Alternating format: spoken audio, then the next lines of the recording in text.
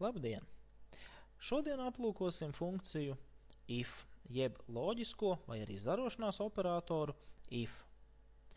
Šī funkcija, if, ir ļoti noderīga, jo, pateicoties šai funkcijai, ir iespēja daļēji automatizēt to darbu, ko parasti mēs varam uzticēt tikai un vienīgi cilvēkam.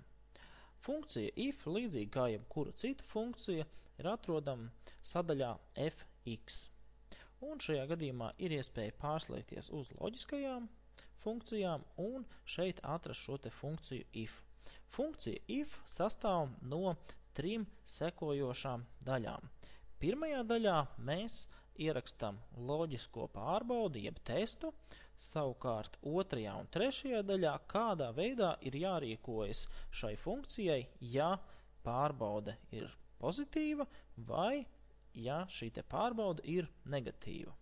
Tātad, tāpēc arī šo funkciju sauc par zarošanās operatoru, jo ir divi zari - patiesības un maldu, jeb nepatiesības zars. Es šajā brīdī gribu apgalvot, ka viens ir lielāks par divi.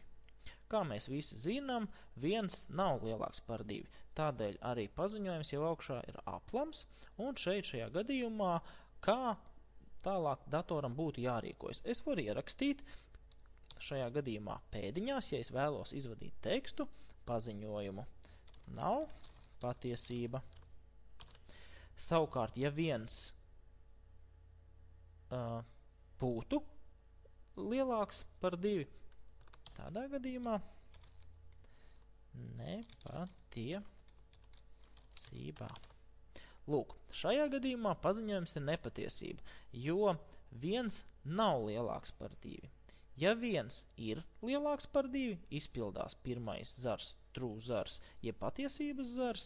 Ja viens nav lielāks par divi, izpildās otrs zars, nepatiesības zars. Piemēram, mēģināšu mainīt 3 lielāks par 2. Vai 3 ir lielāks par 2? Jā, 3 ir lielāks par 2. Tādā gadījumā paziņojums, ka nav patiesība. Tas ir tikai tādēļ, ka es pirms tam esmu ierakstījis, ka uh, šeit ir atbilde nav patiesība. Ceru, ka nedaudz par šo te funkciju priekšstats ir radies, un tagad mēģināsim ar piemēru palīdzību šo funkciju um, izmantot. Lai izmantotu šo funkciju, izsauksim iepriekš apskatīto piemēru ar sarakstu. Tādēļ es atveru šo datni saraksts, un manā priekšā ir bērnu skaits, kā arī 1, 2, 3, 4, 5 kontrolu darbu rezultāti punktos, un aprēķināt mazākie, lielākie vidējie rādītāji, kā arī mēs zinām, cik daudzos kontrolu darbos viņi ir piedalījušies un cik daudzos kontrolu darbos viņi nav piedalījušies. Šajā gadījumā šūnā N1 es vēlos, lai dators tiem skolēniem, kuri nav piedalījušies divos vai vairāk kontroldarbos, parādītos uzraksts. Piemēram, šajā gadījumā tas varētu būt neapmeklēja. Kādā veidā šādu uzdevumu izpildīt? Sākot ar N2 šūnu, es veidošu funkciju, izmantojot funkciju if, sekojošu izteiksmīti. Pirmais es izsaukšu šo te operatoru if un veidošu sekojošu pārbaudi. Vai blakus esošajā šūnā, šajā gadījumā tas ir M2, skaitlis ir lielāks vai vienāds ar 2.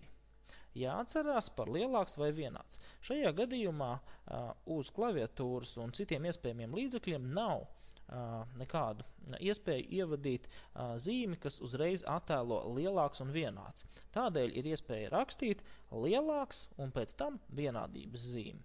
Ja jūs ievadītu tikai lielāks, tad jāatcerās no matemātikas viedokļa, tiktu meklēti jebkādi, jebkādas atbildes, kurās ir vairāk par 2. Piemēram, 2,1 vai mūsu gadījumā, ja ir veseli skaitļi, tad 3, 4 un tā tālāk. Šajā gadījumā es gribu atrast tos skolniekus, kuri nav bijuši vismaz divos kontrolu darbos. Tāpēc es rakstu vien, lielāks vai vienāds ar divi. Kas šajā gadījumā ir jādara, ja tā ir patiesība?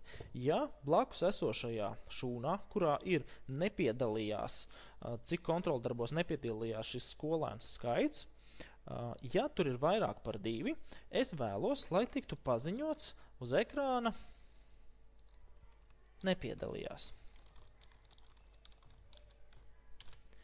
Savukārt, ja ir mazāk par divi, tātad, ja ir otrs zārs izpildās, tādā gadījumā es nevēlos neko izvadīt uz ekrāna, tādēļ es šeit šajā brīdī ievadīšu ar um, pēdiņu palīdzību, vienkārši atstāšu tukšumu. Iespējams ir jāvada ar pēdiņām, Iespējams, ir jāvada ar apostrofiem šie uh, skaitļi, uh, šis, šī tekstuālā informācija. Tas ir jāpārbauda pirms tam, un uh, tādēļ uh, nebrīnieties, ja jums šī formula uh, nenostrādā tā, kā ir iecerēts. Tas noteikti ir jāpārbauda arī jau pirms tam, to var atkal noskaidrot reģionālos settingos, jo atkarībā no iespējamās valodas iestatītās jums ir jāvada vai no ar apostrofiem vai ar pēdiņām. Šajā gadījumā ir parādījies tukšums, un tas nozīmē, ka uh, blakus esošajā šūnā uh, skaitlis nav lielāks vai vienāds ar divi.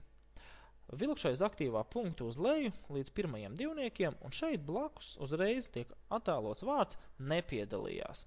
Tad šādā veidā, ja es esmu izveidojis šo uh, formulu, es ātri pārskatot esošo sarakstu varu pamanīt, kuri skolēni ir piedalījušies pietiekamā skaitā darbu un kuri tā nav darījuši.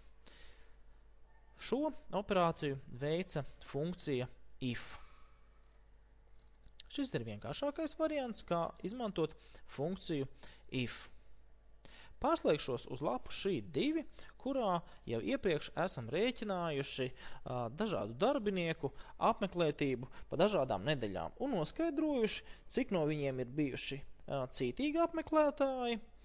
To mēs panācām izmantojot iepriekš uh, definētu uh, funkcijas um, Network Days, uh, kuru, uh, no kuras uh, tiek ņemta informācija uz konkrētajiem šūnām.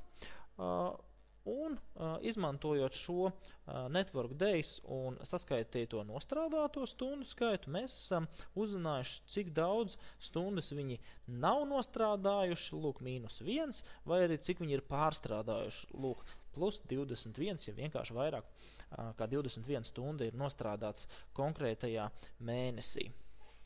Izmantojot šo funkciju if, mēs varētu šo uzdevumu vēl vairāk uh, modificēt un pieņemsim sekojošu uh, lietu. Uzņēmumā tiek ieviesta soda nauda par katrām uh, ja uh, nokavēto stundu skaits ir lielāks par 5, tādā gadījumā ir jāmaksā sots par katru kavēto stundu 5 lati. Tātad vēlreiz, uh, ja uh, kāds darbinieks ir kavējis 5 un vairāk stundas, 5 un vairāk stundas mēnesī, tādā gadījumā viņam ir jāmaksā soda nauda 5 lati par katru nokavēto stundu. Lūk, šāds uzdevums, un šādu uzdevumu mēs atkal varam risināt, izmantojot funkciju if. Tādēļ sāksim veidot formulu, izmantojot funkciju if. Es izsaucu funkciju if un veicu sekojošu pārbaudi. Vai blakus esošais skaitlis ir lielāks par mīnus 5. Šajā brīdī ir jāatcerās, ka negatīviem skaitļiem ir salīdzinājums jāveic uz otru pusi. Tas nozīmē, ka ja skaitlis ir mazāks par mīnus 5, tad mīnus, 6, mīnus 5, mīnus 6, mīnus 7, mīnus 8, mīnus 9 un aizvien mazāks, tādā gadījumā mums būs jārīkojas šādi. Šajā gadījumā es pielieku arī vienādības zīmi, un tas nozīmē, ka blakus esošais skaitlis tiek pārbaudīts, vai viņa vērtība ir mazāka par mīnus 5 vai arī vienāda ar mīnus 5. Konkrētais skaitlis mīnus 1, protams, ir uh, lielāks pēc vērtības par mīnus 5. Ja šī ir patiesība, ka šūnā blakus esošais skaitlis ir mazāks par mīnus 5 vai vienāds ar mīnus 5, tātad ja cilvēks ir kavējis vairāk kā 5 stundas mēnesī, tādā gadījumā mums viņam ir jāpiespriež soda maksa. Cik liela ir soda maksa? Soda maksa tiek rēķināta sekojoši. Blakus esošā šūna tiek pareizināta ar mīnus 5. Kādēļ blakus esošā šūna tiek reizināta ar mīnus 5, nevis ar 5? Ja mēs reizināsim ar mīnus 5, tad blakus esošais negatīvais skaitlis mīnus 10 pārveidosies par pozitīvu skaitli. Varētu rakstīt arī otrādāk, piemēram, mīnus 5 reiz J2. Visos citos gadījumos pagaidām mēs vēlamies atstāt tukšumu. Tādēļ es atkal šeit ierakstu pēdiņas un noklikšķinot OK, es esmu ieguvis tukšumu. Tas nozīmē, ka šis cilvēks ir strādājis mūsu pieļautās robežas apjomos. Savukārt, velkot šo formulu uz leju, es iegūstu uh, skaitļus 50, 80, 240, 140, 145. Tātad tie, tās ir atbildes, tie ir rezultāti, cik uh, naudas summas, konkrēti šajā gadījumā tie varētu būt lati, cik latus konkrētajam cilvēkam ir jāatmaksā uh, savam uh, darba devējam. Piemēram, Eduardam Gavrielovam ir jāsamaksā 50 latu sots par 10 kavēto stundu laiku. Savukārt Vladislavam jau ir jāsamaksā 240 latu sots par uh, nokavēto uh, faktiski darba nedēļu. Tālāk, protams, šo te uh, formulu ar izveidoto funkciju es varu sakopēt visā šajā diapazonā uz leju un iegūt dažne dažādus rezultātus atkarībā no tā, cik uh, konkrētie darbinieki ir kavējuši vai nav kavējuši.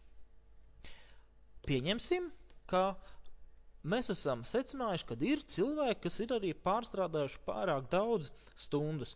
Un mēs uzskatām, ka tādiem cilvēkiem, kas tik daudz strādājuši, pienākas uh, balva.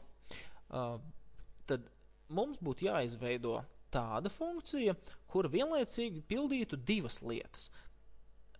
Šajā gadījumā šīs lietas būtu sekojošas. Ja uh, blakus esošais skaitlis ir mazāks par uh, 5 uh, vai vienāds ar 5, tādā gadījumā ir jāmaksā sots. Savukārt, ja blakus esošais skaitlis ir lielāks vai vienāds ar 10, tādā gadījumā uh, būs paziņojums balva. Lai šādu problēmu risinātu, mēs vēlreiz izsauksim ar fx palīdzību kā uh, divi šūnā šo pašu if funkciju. Šajā gadījumā mēs nevaram pierakstīt vairs šeit klāt otrajā zarā vēl kaut kādu pārbaudījumu. Tomēr mums ir cits iespējamais risinājums.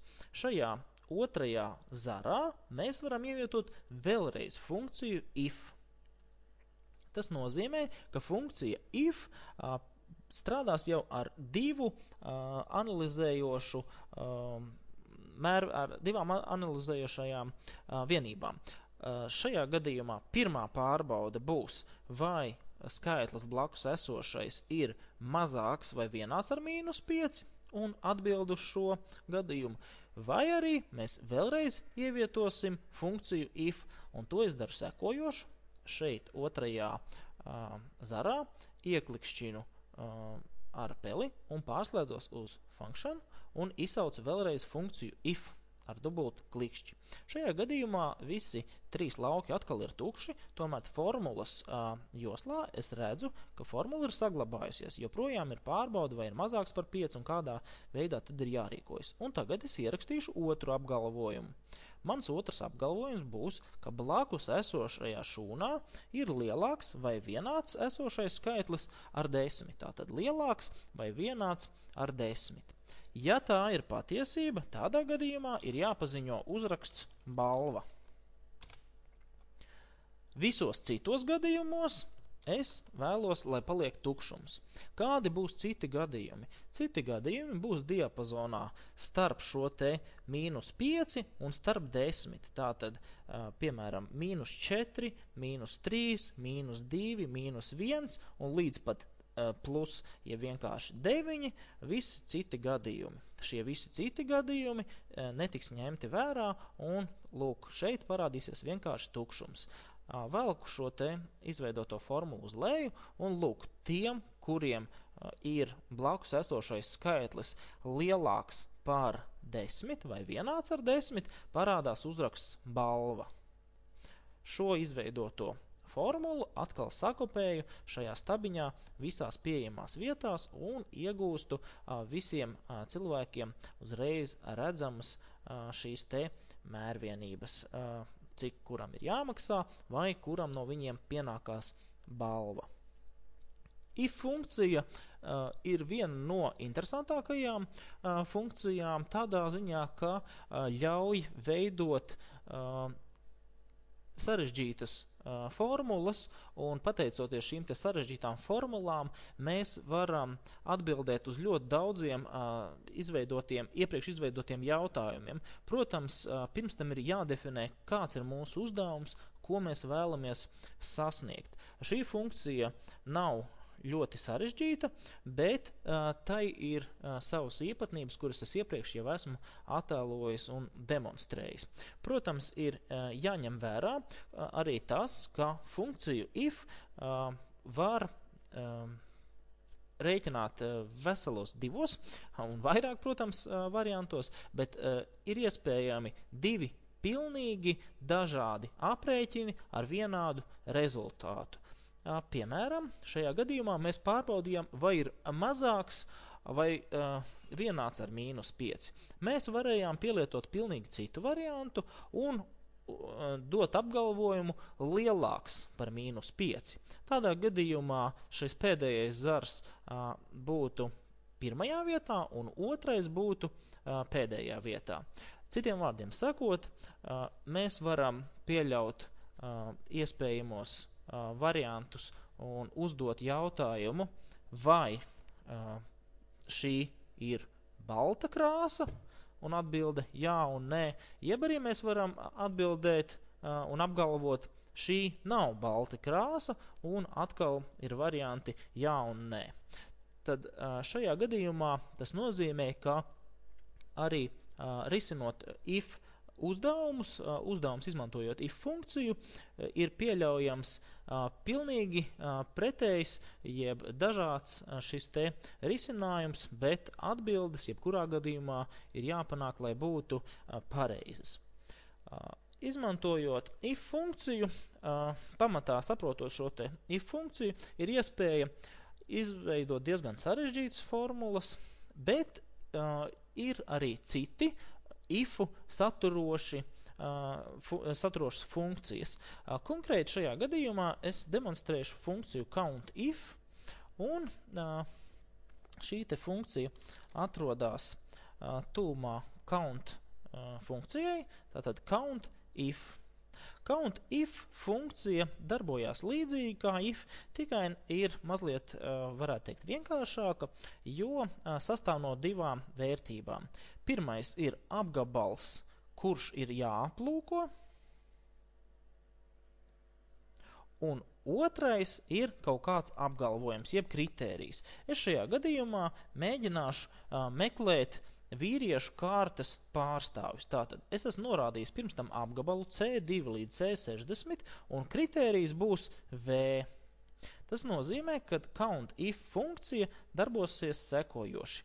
Apskatīt apgabalu C2, C60, ja šajā apgabalā ir kāds kaut viena ierakstītā šūnā ir šis V, tādā gadījumā saskaitīt šo šūnu skaitu.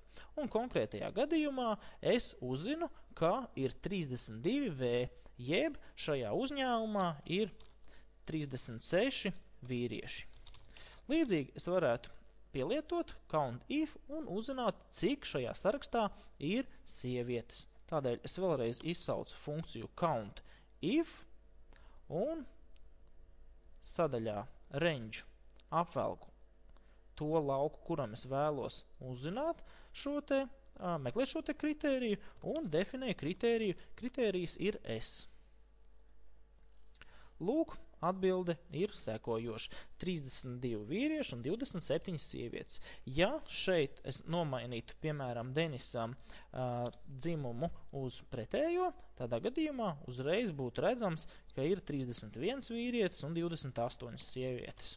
Lūk, šādā veidā mēs varam pielietot funkciju countif, uh, Ir arī funkcija sum, if un var veidot arī saliktas funkcijas, izmantojot, kā jau iepriekš es rādīju, if. Jebkurā funkcijā vēl mēs varam ielikt kādu citu funkciju un uh, izveidot tik sarežģītu formulu, cik šajā gadījumā ir nepieciešama. Piemēram, ja ir nepieciešams noteikt diapazonus, apgabalus, noskaidrot, vai skaitļi ir konkrētajā intervālā, tad visdrīzāk būs jāieliek vēlreiz kādā funkcijā funkcija.